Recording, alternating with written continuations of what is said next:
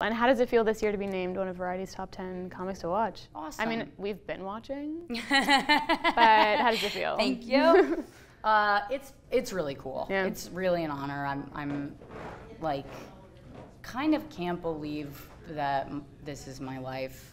I'm You did of it. like yeah, I mean I started comedy 10 years ago in September and I will be I, I've done more than I thought I would ever do with it. I literally came to it during a time in my life when things were not going well. I, I felt like I was getting into comedy too late for anything to ever happen. I had been trying to be an actor in New York. That wasn't working out. I was ready to be like a dog trainer or a uh, social worker. And my friend was like, You have to work with people for both of those things.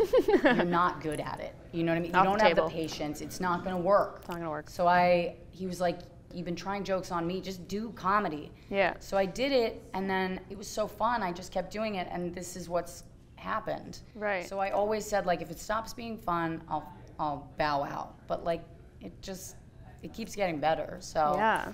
I mean, anytime you feel imposter syndrome, just I'm gonna play this part of the video for you because you're killing it, obviously, and you're doing so many amazing things, Thank and you. you should be proud. thanks, I appreciate it.